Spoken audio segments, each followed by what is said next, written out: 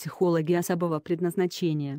Психологи особого предназначения – лучшие специалисты психологических служб силовых ведомств страны приняли участие в 9. Всероссийском конкурсе профессионального мастерства «Сила душа». Конкурс был учрежден Российским психологическим обществом и Обществом психологов силовых структур в 2011 году и приурочен ко Дню психолога, который отмечается 22 ноября. В этом году состязание прошло на базе Военного университета Минобороны России в Москве. От имени министра обороны РФ конкурсантов и гостей мероприятия приветствовал заместитель главы оборонного ведомства начальник Главного военно-политического управления Вооруженных сил России генерал-полковник Андрей Картополов.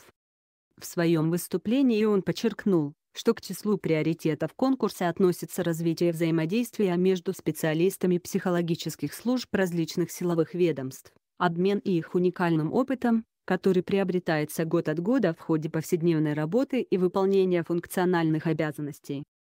Лучшие специалисты представят аспекты своей профессиональной деятельности, поделятся секретами мастерства при решении сложнейших практических задач, перечислил основные задачи состязания Андрей Картополов. Подобное взаимодействие, как и обмен опытом, ведет к увеличению возможностей каждой службы, к повышению уровня профессионализма. Генерал-полковник Андрей Картополов отметил, что ежедневный труд психолога хоть и не всегда заметен, но он крайне важен, ибо направлен на поддержание психологической готовности сотрудников ведомств, обеспечение их устойчивости к негативным воздействиям, повышение профессиональной надежности, Говоря о работе психологов вооруженных сил, заместитель министра обороны России особо отметил практическое участие этих специалистов в достижении главной цели выполнения стоящих перед армией и флотом задач. По мнению заместителя министра обороны РФ, на сегодняшний день можно со всей ответственностью утверждать, что военные психологи со своим предназначением справляются. Нынешний конкурс, проводимый уже в девятый раз, по-своему символичен. Во-первых, в этом году мероприятие посвящено 75-летию полного снятия блокады Ленинграда, а кроме того, оно является прологом к предстоящему празднованию 75-летия Великой Победы. Ежедневный труд психолога хоть и не всегда заметен, но крайне важен. Другим знаменательным моментом можно считать выбор места проведения конкурса Военный университет Министерства обороны Российской Федерации. Это учебное заведение, как отметил генерал-полковник Андрей Картополов, одно из старейших и уважаемых образовательных учреждений страны, в этом году отметившее столетний юбилей. Кстати, с 2019 года военный университет стал основным вузом для подготовки специалистов военно-политической работы, в том числе военных психологов.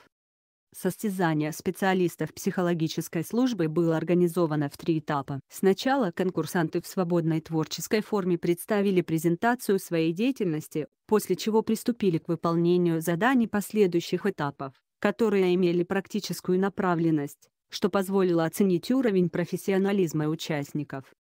В число конкурсантов вошли опытные специалисты, состоявшиеся в профессии и прошедшие отбор на аналогичных турнирах в своих ведомствах.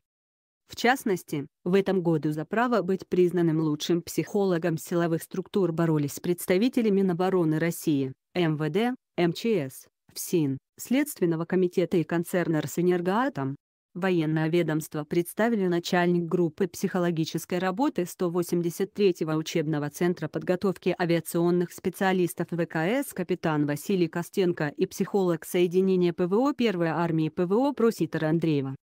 Оценивала действия конкурсантов взыскательное жюри под председательством главы Общества психологов силовых структур, доктора психологических наук профессора главного научного сотрудника Всероссийского НИМВД России, члена-корреспондента Российской академии образования Александра Караяни.